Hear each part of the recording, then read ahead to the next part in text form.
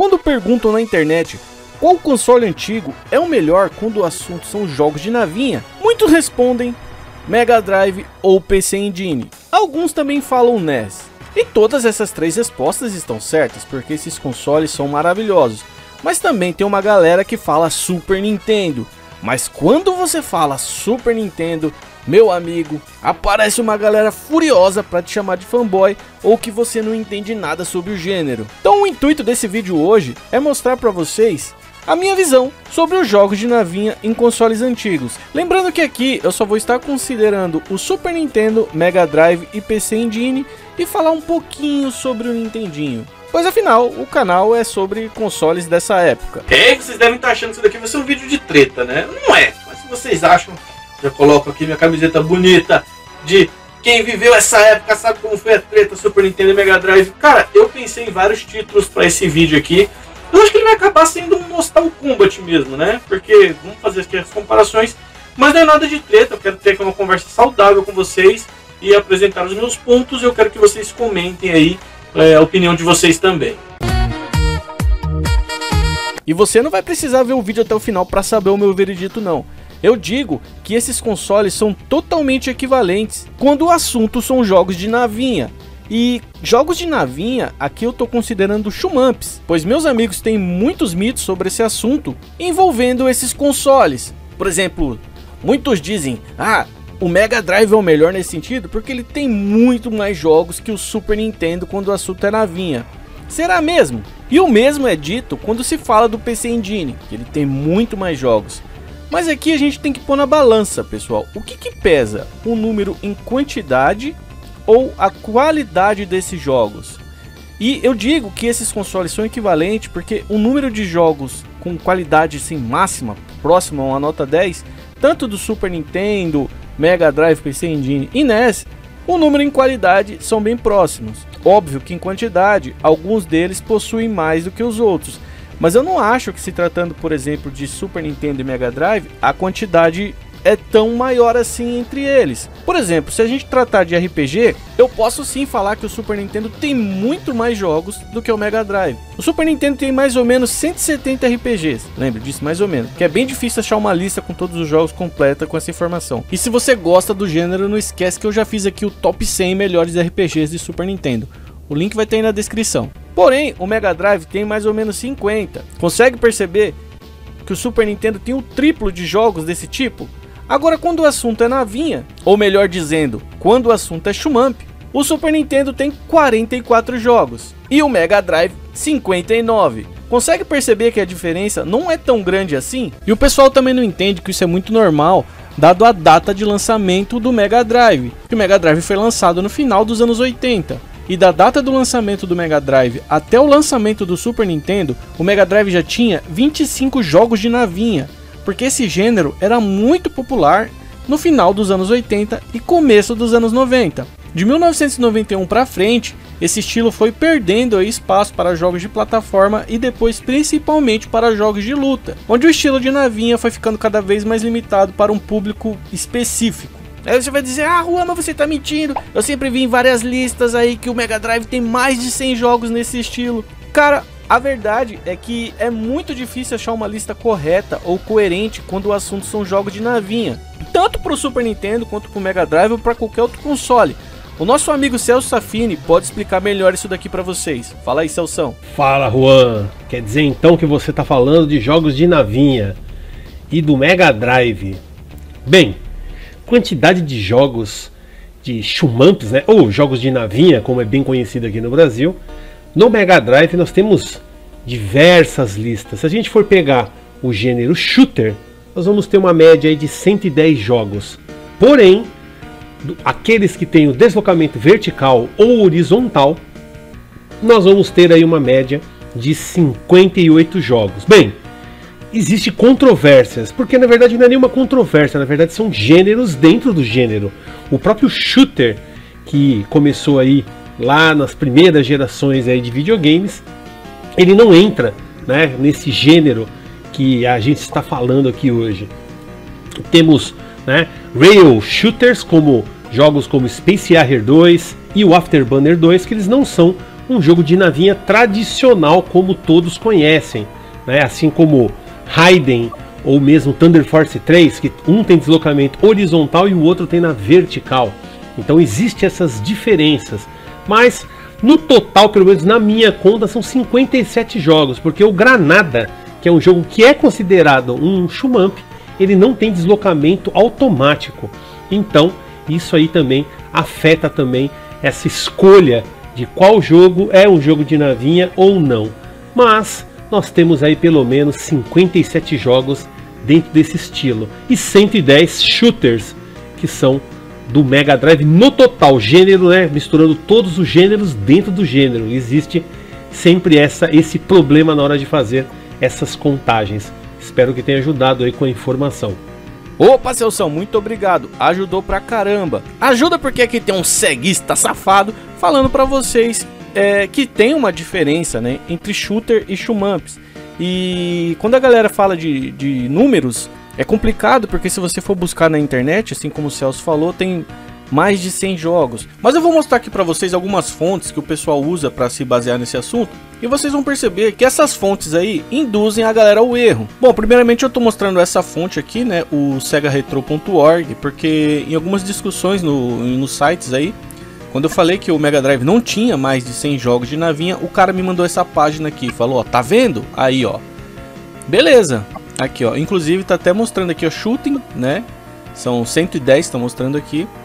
Tá bom? Mas a gente tá falando de Shumamp, jogos de navinha. E se você for, for bem dar uma olhada aqui, ó. Olha só os jogos que eles têm aqui, ó. Uma coisa legal, por exemplo, é na, na letra R. Beleza, Hiding Thread, é um jogo de navinha. Rambo 3, meu amigo, Rambo 3 eu acho que não dá pra considerar não, né? Ranger X, Red Zone, Revolution X, é... é... É, cara, eu acho que tá meio errôneo aqui, cara. Você pode qualquer coisa que tem tiro ou qualquer coisa que tem uma nave voando, dá pra considerar um Shumamp? Eu acho que tá meio errado, tá ligado? Ou vocês vão me dizer que dá pra gente considerar o Duke Nukem 3D como um jogo de navinha? Não, né? Ah, Rua, mas você pegou um exemplo ruim. Bom, como eu disse, são vários exemplos, tá bom? Eu peguei esse porque foi o primeiro que eu achei.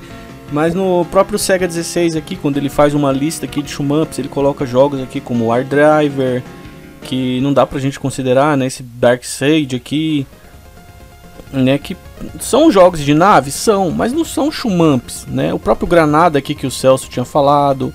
Colibri, que é um jogo de 32x, que pra mim também não entra, né? Como um jogo de, de Mega. O Cotton, que a gente pode até dar uma forçada aqui e colocar, tá ligado? Esse aqui pra mim até passa, mas pra tem, tem gente que vai falar que não passa.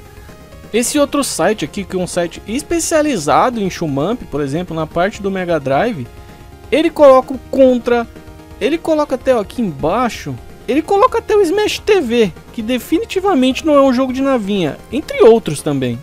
Como eu disse, tem muitos exemplos aí de lista meio sem noção quando, esse, quando tem esse assunto aqui. E relaxa, isso acontece tanto pro Mega Drive quanto pro Super Nintendo e diria que até mais no PC Engine. Ah, Juan, mas você tá falando isso só pra pegar no pé do Mega Drive. Não, meu amigo, eu tô só mostrando um exemplo, como não tem um consenso aqui de um número final, né, para esse tipo de jogo. A gente tem que entrar no consenso. E no final das contas, cada um vai ter seu filtro. Porque se você for procurar as listas também pro Super Nintendo para esse tipo de jogo, vai ter um monte de jogo errado lá. Vai ter, já achei lista de Super Nintendo aqui com mais de 100 jogos, mas tinha esses mesmos jogos que não são jogos de navinha. E aí a gente vai para uma outra questão, que é o PC Engine. Ah, quantos jogos de navinha o PC Engine tem? Aí vocês vão falar, bom, com certeza é mais de 100. Esse eu tenho certeza. Bom, aí é que tá. O PC Engine, PC Engine mesmo, só o PC Engine, no meu filtro, no que eu considero um Shumamp, eu coloquei aqui 61 jogos. Ou seja, tá longe de ser 100 jogos. Nossa, então só tem 3 jogos a mais que o Mega Drive? Exato. E tendo em vista que o Super Nintendo são 44, também não é uma diferença tão grande. Não, você tá mentindo, o PC Engine tem muito mais que isso, eu tenho certeza. Então, porque o PC Engine tem 61, tá? Mas o PC Engine CD Aí sobe para 38. Porém, contudo, todavia, tem um monte de jogo repetido, que é praticamente o mesmo jogo, tá? Você quer é, exemplos? Temos o Dyson Pool Custom, o Download. Quando você vai na lista de jogos de PC Engine, tem os dois nomes lá, mas é o mesmo jogo. E às vezes é o mesmo jogo com apenas algumas modificações que eu diria que não dá para considerar como um jogo novo. Eles fizeram muito isso quando passaram alguns jogos do PC Engine CD, mantendo o mesmo jogo e atualizando somente a trilha sonora. Isso para mim não é diferença tipo nenhuma. Obviamente o jogo fica melhor com uma trilha sonora nova, mas ainda é o mesmo jogo. Nas listas mesmo aqui que eu vi de PC Engine, eles colocam o R-Type 1, R-Type 2, R-Type 3 completo, como se fossem três jogos diferentes. Quando na verdade o R-Type Complete CD contém, os, contém o jogo todo ali. É um jogo só, tá ligado? Não são três jogos. Além de muitos outros, como Sidearms, Space Invader, Super Darius, Super Raiden. São jogos repetidos. Não dá pra gente contar esse monte de jogo. Porém, aí é que tá. Vamos lá. PC Engine, temos 61 jogos. O PC Engine CD são 38 jogos. Desses 38, 13 deles são repetidos. Isso dos que eu consegui encontrar aqui repetido. Pode ser que ainda tenha mais alguma pegadinha aqui no meio. Eu não sei se é justo é, colocar o PC Engine, né, que eu uso o card dele lá, e PC Engine CD na mesma categoria, como um mesmo console. Mas isso é o que eu acho. Isso é o meu filtro. Você pode achar o que você quiser. Aí no final das contas, o que, que vai decidir qual que é o console supremo aqui para jogos de navinha? Meu, vai do filtro de cada um. No seu filtro é a quantidade, então beleza. Então você pode falar aí que é o PC Engine, o Mega Drive e não é o Super Nintendo, porque o Super Nintendo tem menos. Não, não pode, porque se você quer colocar como quantidade, colocando os consoles que eu falei aqui que iria usar como exemplo, Super Nintendo, Mega Drive, PC Engine e o Nintendinho, por que vocês não falam que é o Nintendinho? O Nintendinho tem 120 jogos de navinha. Porra! Tudo isso? Beleza, talvez dê para considerar, porque tem uns 18 jogos ali que não são licenciados e tem ali uma mistura ali de shumamp com alguma coisa que dá para dizer que ele é um jogo híbrido.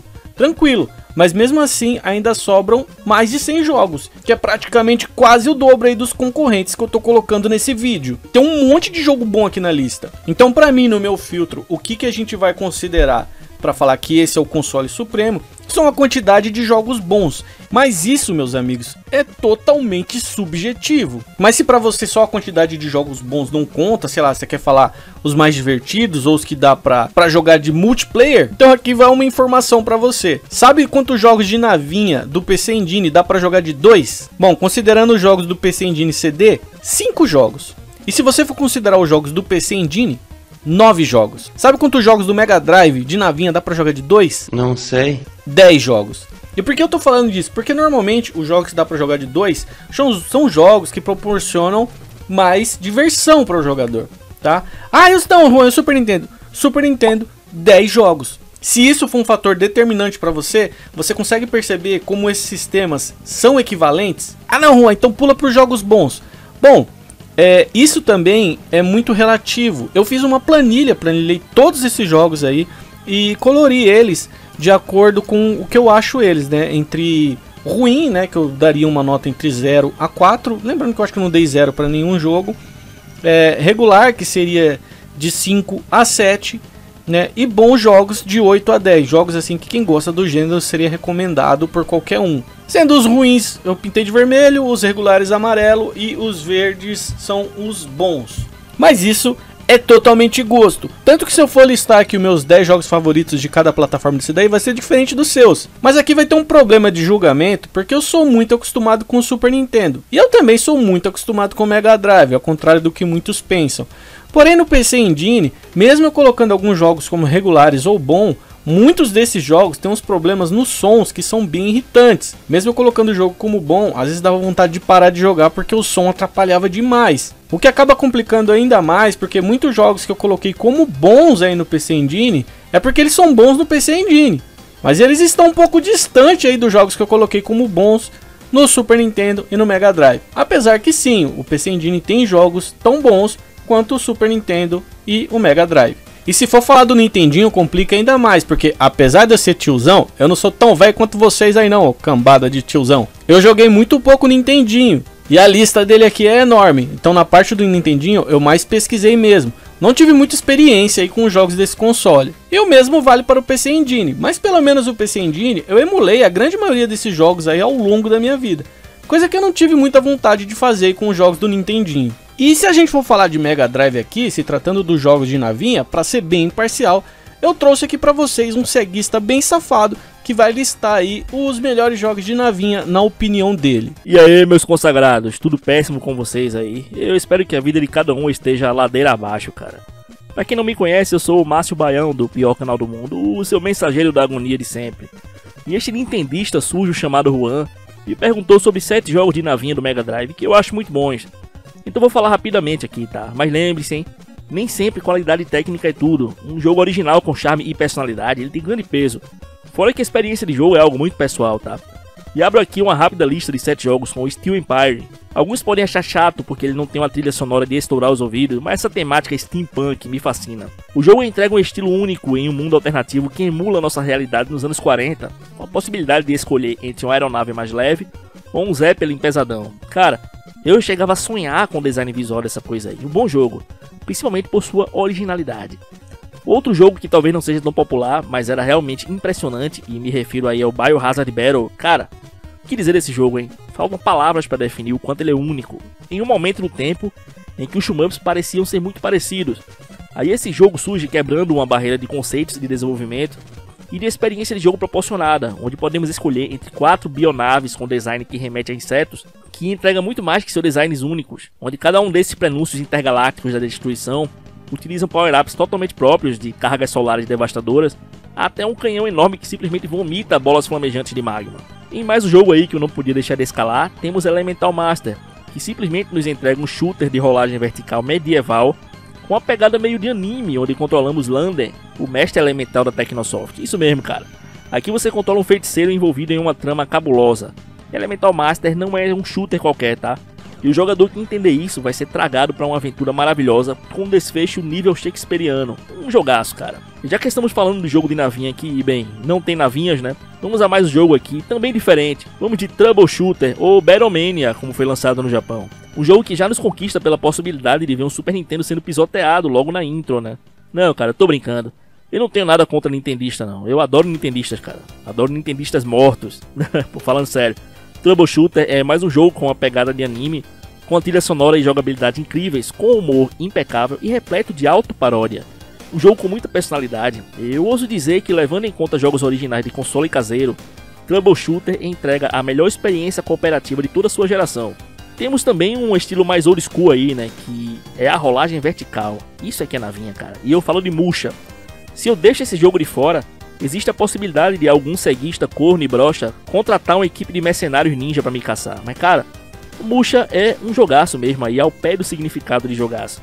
Eu lembro que ele me conquistou já na intro com um robô gigante e na primeira cutscene mostrando o piloto e o reflexo do céu em seus óculos, que levava aí um pequeno jogador de Mega Drive a imergir na realidade de Aleste. É, cara, Aleste é sinônimo da mais alta navinhagem jogabilidade fantástica em uma experiência intensa com gráficos surpreendentes para um jogo tão antigo que o Super Nintendo ainda nem existia. É simplesmente impressionante o nível de paralaxe utilizado aqui. É um jogo que te deixava meio embasbacado na época, sem saber se atirava ou se contemplava o que estava em tela. Esse era o poder de Musha. E também tem uma escolha pessoal aqui que é o jogo Eliminate Down. Cara, Eliminate Down começa com o cenário espacial padrão. Só que não é tão padrão assim. Sua nave ela começa como membro de uma frota com naves bem maiores em segundo plano. À medida que você avança, você vai vendo as naves da frota tomando dano e saindo da tela. O que te dá uma imersão aí, te tragando com uma sensação até de tensão crescente e um pouco de desespero. Com uma trilha sonora balanceada que praticamente torna o teu tiro parte da música. E eu espero que seja mesmo, porque o jogo ele não é para quem se frustra facilmente não, hein. Ele cobra caro pela obra de arte que entrega. Eliminate Down é um desafio intenso, sem no entanto ser injusto. Um dos melhores shmups que já joguei. E quando adolescente, eu cheguei até a catar uma mina feiona só porque ela gostava do jogo também, cara. É, cara. Ossos do ofício, né? Quem tem navinha de vidro que deu o primeiro tiro, ou algo parecido. Acho que é assim o ditado. E para finalizar, cara, é clichê, mas não tem como. Thunder Force 4 foi uma coisa absurda. O jogo vai te entregar o máximo de adrenalina que um shmup pode ser capaz de entregar. Para muitos, não só o melhor shmup de Mega Drive, mas também de sua geração. Eu lembro a primeira vez que eu vi esse jogo como se fosse hoje, né? Eu não sei se a garotada mais nova vai lembrar disso, mas ter telefone em casa era coisa de rico, mano. No máximo a gente tinha um ramalzinho dividido para umas 20 residências. E um dos meus amigos, o Léo Ninja Cagado, que ganhou esse apelido por ter borrado as calças, que é uma história para um outro dia, sendo que eu não tinha um Mega Drive na época, né? Nós é humilde, parceiro. Eu tinha um clone de Atari 2600, o Dacta no meu coração. Daí o Léo discou o ramal da casa dele pro meu, né? E colocou o som do Thunder Force 4 para que eu ouvisse no telefone. Mano, eu perguntei a ele, Ninja, que parada é essa aí, pô? Aí ele falou uma frase que eu nunca vou esquecer e define este jogo perfeitamente até hoje. Ele falou o seguinte: Tem um trovão na minha TV, meu irmão. E o jogo é exatamente isso. Quando você põe o cartucho no Mega, você está jogando obra de arte com o poder do trovão ressonando nos teus ouvidos. E se você pegar só a música Metal Squad do Thunder Force 4, você vai entender o que eu estou falando. Mas nem só de música vive o jogo, hein? Thunder Force 4 ele é bom em tudo. Ele empurra o visual do Mega Drive a um outro nível com numerosas camadas de paralax, criando um senso vívido de escala e enxames de inimigos vão te atacar, enquanto o dia muda para noite e você é forçado a mergulhar no mar e enfrentar um enorme navio de guerra inimigo. Thunder Force 4, ele não só é um dos melhores jogos de navinha, ele não só é um dos melhores jogos de Mega Drive, ele não só é um dos melhores jogos de sua geração. Ele é um dos melhores jogos já lançados, eu não tenho dúvida disso. E cara, se você ficou chateado porque eu não citei Vapor Trail, Vertex, Sagaia, Truxton, Grey Lancer, nem coloquei Gaiares, meu irmão, Deixa de ser moleque, tá? Já tá na hora de aprender a respeitar os gostos dos outros. E até um outro dia, hein? Preciso dar o fora para criar o conteúdo miseravelmente ruim do meu canal. E jogar meu computador no lixo, né? Ele agora está poluído com alto nível de nintendismo desse canal. Abraço aí, Juan. Tudo de pior para você e pros seus inscritos aí, cara. Que o Brad abençoe a todos e fui. Bom, esses são os jogos do Márcio, sem roteiro, sem nada. Eu não falei para ele citar jogos, ele escolheu os jogos dele. Mas vocês conseguem reparar que ele escolheu alguns clássicos e alguns jogos desconhecidos? É, quando se trata de Super Nintendo, vocês conhecem os jogos desconhecidos do Super Nintendo nesse quesito? Tem muito jogo bom. E assim vale para o PC Engine também. Quer ver aí alguns exemplos de jogos sensacionais do PC Engine que podem bater de frente, ultrapassando ou até se igualando com esses jogos aí que o Mar citou? Se liga só. Um dos meus favoritos aí no PC Engine é o Warzone tem também o Gunhead, que é muito louco e é também conhecido como Blazing Lasers. Tem o Parodius, que ficou muito bom no PC Engine. Tem o Gate of Thunder, que é muito bom.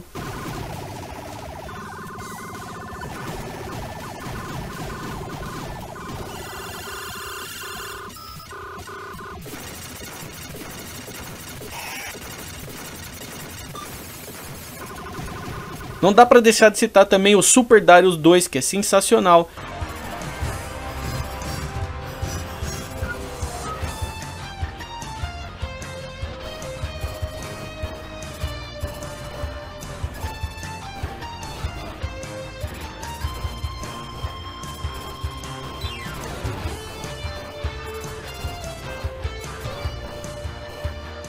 E para mim, um dos melhores jogos aí do gênero se eu fosse fazer aqui uma junção desse, dos três consoles, né, e colocar os melhores, é o Lords of Thunder, que é sensacional.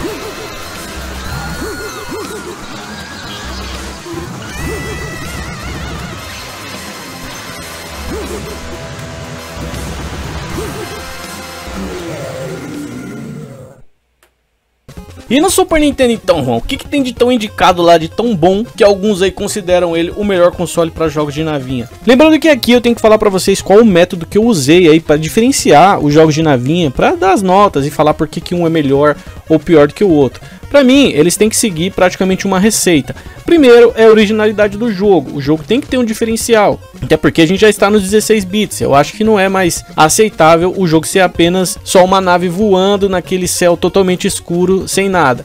Eu dou muito valor aí para os efeitos e visual do jogo. Também para trilha sonora, que é muito importante no jogo de navinha. Às vezes se o jogo é meia boca, mas tem uma trilha muito boa, a gente até eleva ele para outro patamar, porque deixa a gente de um jeito bem imersivo. Obviamente, jogabilidade é muito importante, diversão e fator replay. Bom, para mim, o diferencial do Super Nintendo nesse quesito é que ele teve alguns jogos dos mais populares da época, que eu diria que possuem boa relevância aí quando o assunto são jogos de navinha. No meu filtro aqui, o Super Nintendo, por exemplo, foi dos consoles aqui, o que mais teve jogos aí com nota 8 até 10, no total de 22, onde eu coloquei 22 para o Super Nintendo, 20 no Mega Drive, também coloquei 22 no PC Engine e 15 no PC Engine CD. Lembrando que do PC Engine CD, dos 38 jogos dele listado aqui, apenas dois eu coloquei como ruins, assim, que eu não gostei mesmo do jogo. Mas aí também entra aquele defeito lá que eu tinha falado antes do PC Engine. Alguns aqui que eu coloquei como regular, muitos de vocês podem achar o jogo ruim. E também muitos de vocês aqui, alguns jogos que eu coloquei como regular, vocês podem achar os jogos bons. Eu acho que uma pequena minoria aí, os jogos bons que eu coloquei podem achar eles regulares ou num surto coletivo até ruins. Isso tanto pro PC Engine como o Super Nintendo e o Mega Drive, tá? Um dos principais que fez a cabeça da molecada na época no Super Nintendo foi o Aero Fighters, que aqui a gente tem que ser sincero, muitos na época nem chegaram a conhecer a versão arcade do jogo e jogaram muito mais a versão do Super Nintendo que é muito boa. E ainda tem aquele diferencial da gente poder jogar de dois jogadores. Era um dos poucos jogos de navinha que a gente via a galera jogando nas locadoras. Até porque naquela época tinha outros jogos aí que chamavam mais atenção. Mas hora ou outra você via uma galera jogando de dois lá, o Aero Fighters. Outro muito legal, que inclusive foi citado lá nos comentários da enquete na Warp Zone, é o Exley que entregou um primor técnico sensacional com uma ótima trilha sonora, o que deixava o jogo ainda mais imersivo. Todos os jogos da série Paródias no Super Nintendo são muito bons, mas o que eu mais recomendaria aqui é o último, que é o Jukio Ozaberi Paródios, que provavelmente eu disse tudo errado. Mas o visual dele é incrível e tem uma trilha sonora sensacional.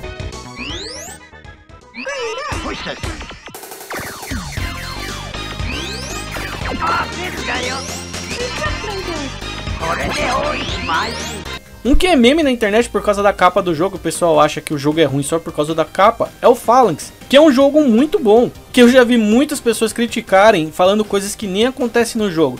Meu amigo, joga, você não vai se arrepender, esse jogo é sensacional.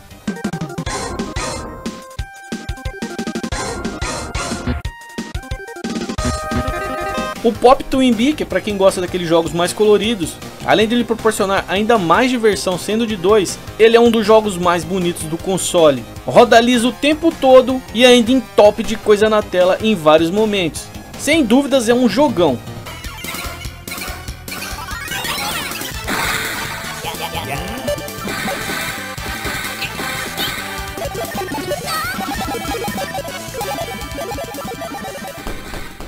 Macross é outro que também é muito bom, que inclusive eu já fiz review dele aqui no canal e indico bastante que vocês joguem. E tem também o Space Mega Force, que é frenético do início ao fim, coloca um monte de efeitos na tela e não dá slowdown em nenhum momento.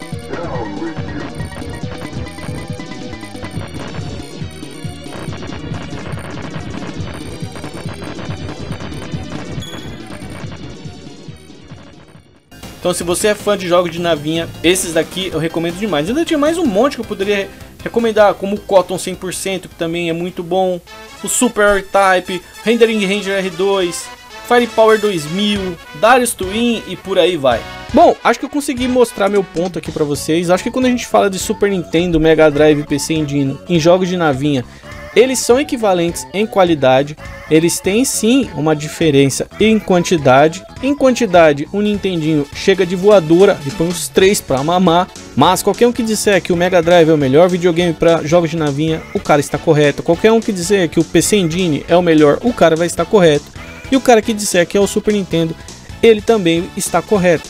Cada uma dessas plataformas tem suas qualidades e seus defeitos. E eu vou deixar para falar um pouco aí dessas qualidades e defeitos em outro vídeo. Esse vídeo era para ser um vídeo curto, onde eu ia mais comentar lá a enquete lá na, da Warp Zone que mostrou os jogos de navinha, mas eu vou estar tá deixando para falar aí de qualidades, defeitos e outras comparações sobre esse gênero no próximo vídeo. E o próximo vídeo tem tudo para ser treta. Então já deixa aquele like, se inscreve para você não perder aí quando sair o próximo vídeo E também não deixe de comentar aí qual videogame você acha que é o melhor para jogos de navinha. E cite aí pelo menos um top 5 de cada console pra gente ir comparando as nossas listas. E vocês que vão dizer aí qual console sai como vencedor. Bom, é isso. Agradeço por você ter assistido o vídeo até aqui, espero você no próximo vídeo, dá aquele like, se inscreve e se quiser apoiar ainda mais, se torne um membro. É isso aí, cambada. Eu sou Dom Juanito e até a próxima. Nostalgia!